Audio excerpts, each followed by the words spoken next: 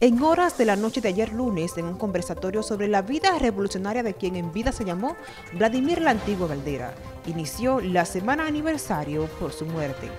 Eh, estamos aquí reunidos, sus compañeros, sus familiares, sus amigos, para conversar, conversar de lo que fue una vida, diríamos nosotros, de luce, una vida de sacrificio, una vida de lucha a favor de este pueblo. Nosotros entendemos que la pérdida del compañero Vladimir la Antigua significa algo irreparable para un pueblo que se está cayendo a pedazos, para un pueblo que lo han estado desangrando con la corrupción, con la inseguridad, con todos los males sociales y económicos que puede haber en cualquier sociedad, lo está viviendo República Dominicana. Y Vladi, eh, que luchó para que este pueblo sea liberado, fue asesinado, pero sus ideas, su memoria, la memoria de este pueblo siempre estará presente.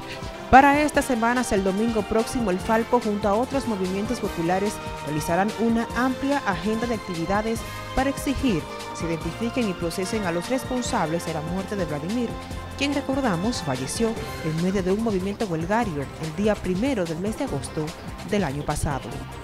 Giovanni Cordero, NTN, su noticiero regional.